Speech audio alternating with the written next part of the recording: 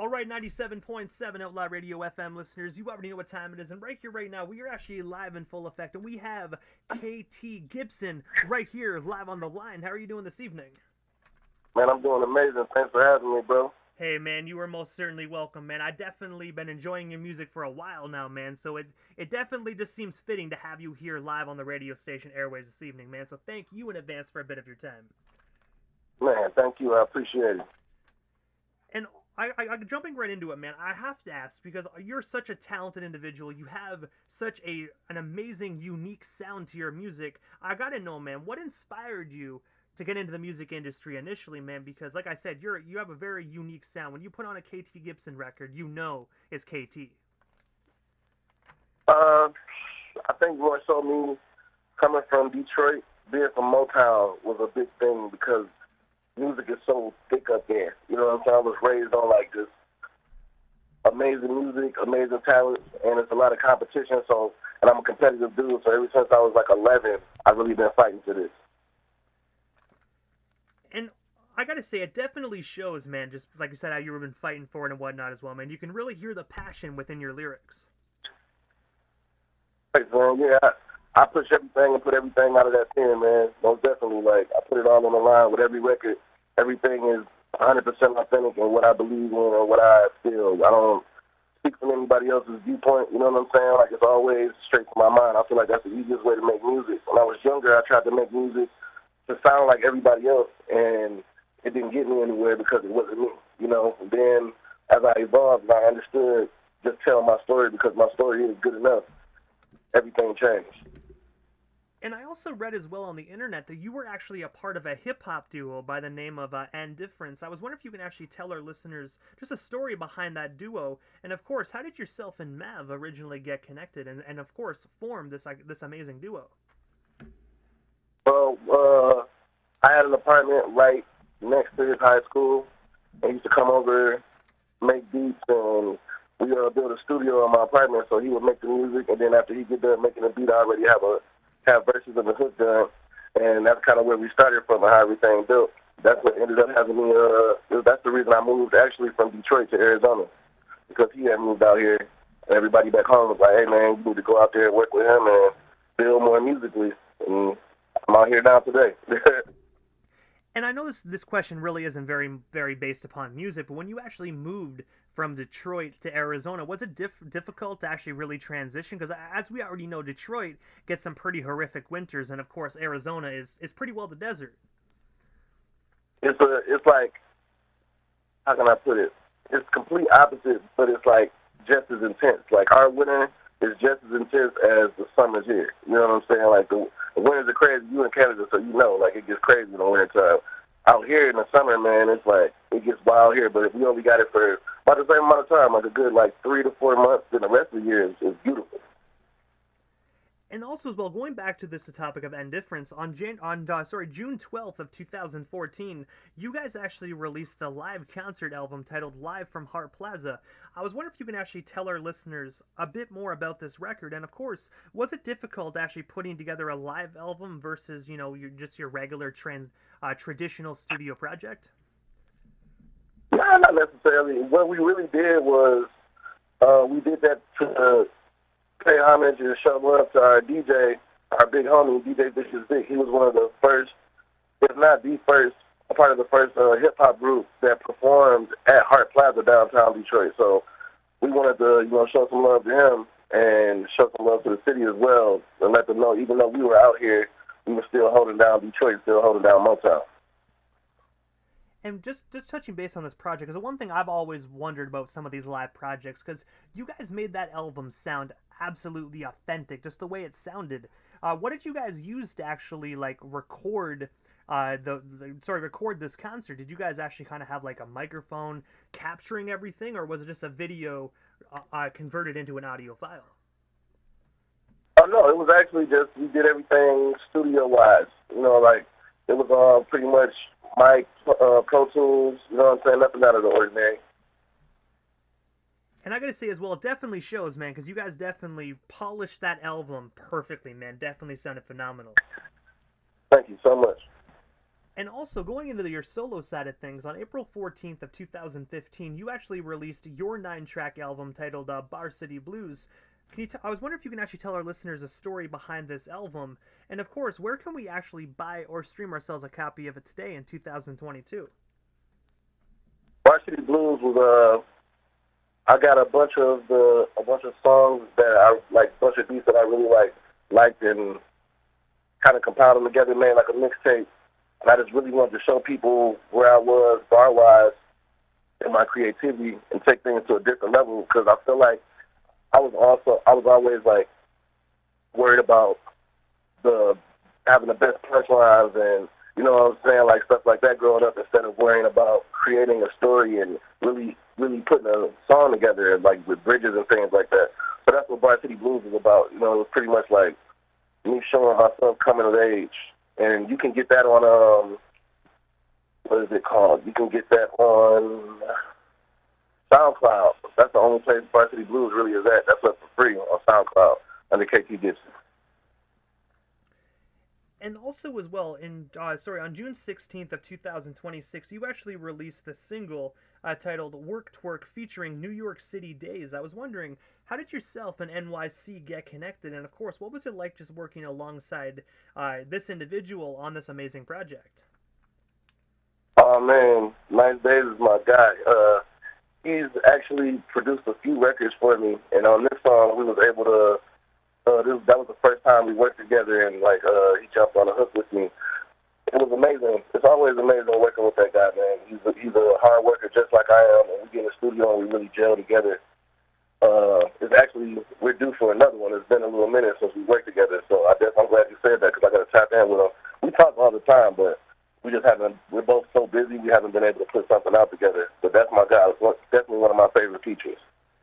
And I got to say as well, you could definitely hear your guys' chemistry on that project. So hopefully, you know, you guys can coordinate something and put another hit together, man. Because I definitely, def- I think I'm pretty sure I can speak for the speak for the uh, KT Gipson fans, man. That uh, you guys definitely have amazing chemistry when you guys work together.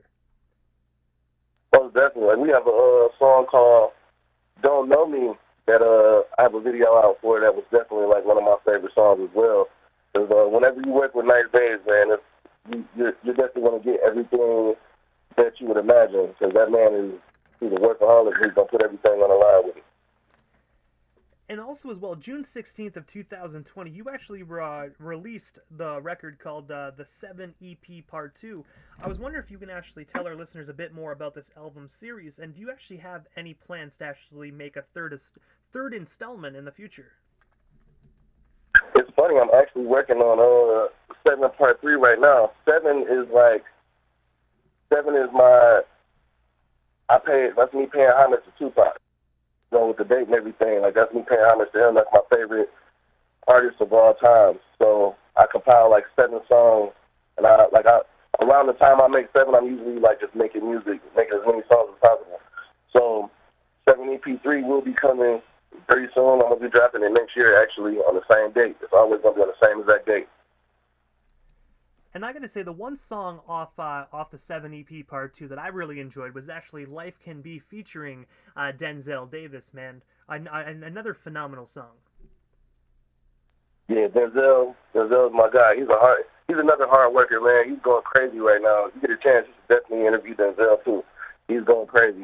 And we work very well together. We, me and him and Bonnie G actually put a album out not too long ago called um the THM Project, Paid in Full and we just really gel well together. That Life Can Be is probably one of my favorite songs of all time because I get to actually speak about how I feel about uh, the workforce, you know, and how these multi-million dollar companies just use us and use us and use us, and then the second we do something wrong, they just throw us away. That was my reason for Life Can Be. And I gotta say as well, like that, that song is very inspirational as well because it sounds bad. A lot of individuals in the music industry, it, that that's how they treat uh, artists and, and, whatnot, man. Like especially back in the '90s, uh, late '80s and, uh, and, '90s as well, man. These those record labels, they would kind of just use the artists, get the music, and kick them to the curb when they got what they wanted, man. It's definitely uh, this industry is you know a blessing, but also a curse at the same time.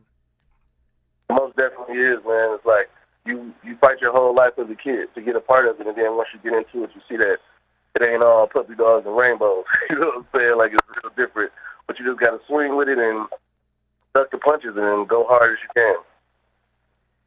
And, and and that's one thing I like about this day and age as well. Like even like, like going back to when I just mentioned the blessing and a curse, man. Even with the streaming and Spotify, it, it, gives individuals like yourself to be able to, you know, be your own engineer, be your own record label and whatnot, and start your own brand. But these these streaming sites are almost doing what the labels kind of did. Instead of giving you dollars, they're throwing cents at you, man. So hopefully, somewhere down the line, at some day and age, maybe the industry can kind of get get get I wouldn't say get back to being normal, but relatively normal where artists actually get what they actually deserve. Most definitely. That would change the game if we actually got dollars instead of fractions of a cent for streams, man, because I'll be looking at my stream numbers, I'm like, man, if I had a dollar for every stream I had, boy, we'll be on right now, super on. Definitely, uh, Hennessy for breakfast, lunch, and dinner. You know what I mean? It wouldn't even break your pocket. Man, for real. but no, I that's one thing I love about Bandcamp, man, because I noticed as well Bandcamp actually lets you guys sell your music, and you actually get to keep 100% of the proceeds, if I'm not mistaken. So if any, so if every artist just kind of transitioned and switched all the way to Bandcamp, you know, maybe maybe then Spotify would kind of go out of business or something. You know what I mean? But people go where people go where life is easy. Most definitely.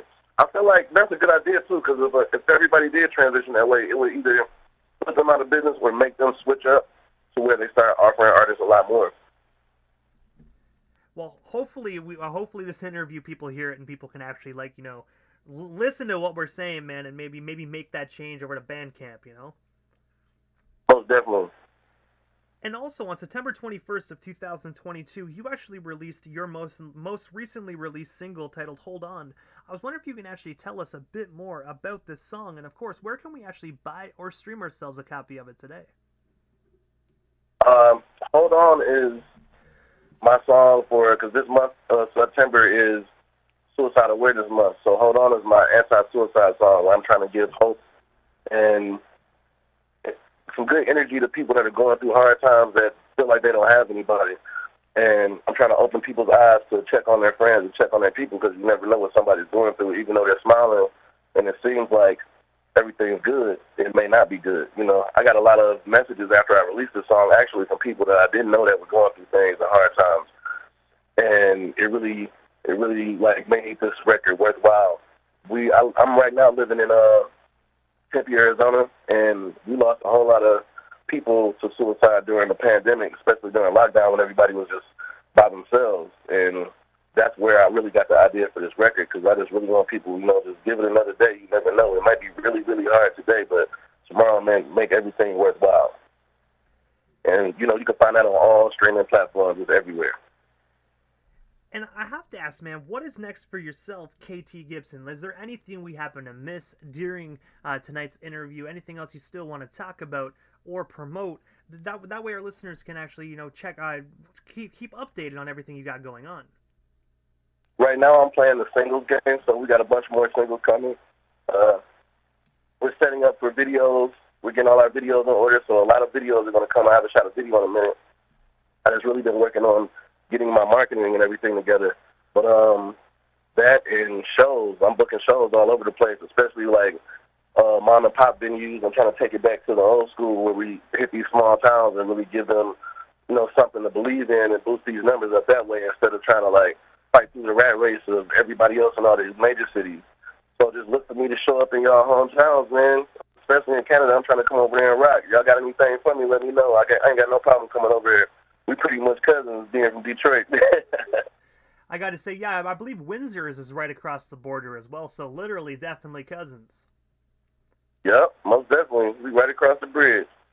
So if we got any uh, Canadian uh, promoters listening, you guys already know what to do. Make sure you hit up uh, KT and actually get him locked, locked and booked for a Canadian performance. Most definitely, I would love that, man. I love Canada. I've been going to Canada since I was a little kid, so that'd be a dream come true to be able to go over there and perform. And also, man, this is the time to interview quickly that I give a chance for the individual that does slide into the radio station airwaves. Just, just a chance to give like shoutouts to whomever they want to give shoutouts to, but most of all, your social media handles. That way, our listeners can follow you and stay updated on everything you got going on, past, present, and future, if they're not already doing so. Yeah, man, I like to definitely shout out uh, Detroit. I love to definitely shout out shout out Arizona. Uh, all my people that I do music with, um, both scenes. I'm real proud of y'all, and I love to see it, man. Both scenes are growing really, really strong, and it's a blessing to be a part of both of those.